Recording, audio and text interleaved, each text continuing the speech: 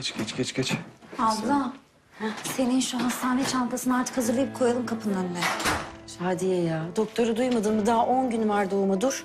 Ya olsun biz gene de tedbirimizi alalım yani. Ben şimdi hazırlayacağım çantayı. Fırat abi sen de taksi beklet kapının önünde ya. Ne olur ne olmaz. Ne taksisi kızım ya? Ben karımı taksiye mi emanet edeceğim?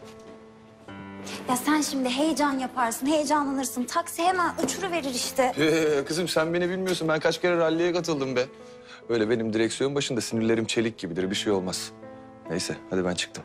Yahu tamam durun doğurmuyorum daha sakin olun. Allah Allah. Ayrıca ben arkadaşıma yemek yapacağım. Bamya pişireceğim. Deniz bayılır bamyaya. Ya ner- nereden çıkartıyorsun? Yat uzan tatlım ya. Niye bu kadar yoruyorsun kendini? Akşam çıkartırız yemeğe denizi. Hayır, hayatta kabul etmem. Ben kendi ellerimle pişireceğim. Bırak Fırat ya. Zaten ben kime laf anlatıyorum ki?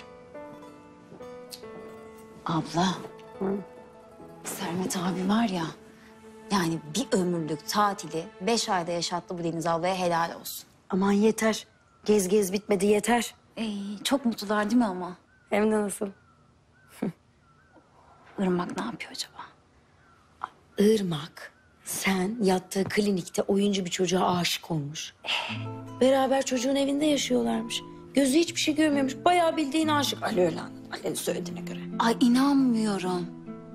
Ay z- ay zavallı adam ya. Zavallı. Ay adamcağıza acıdım.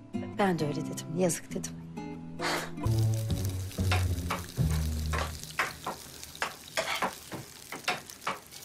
Şadi. Şadi.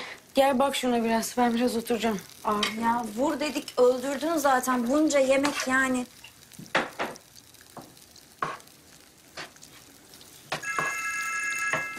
Ay Can arıyor. Picasso?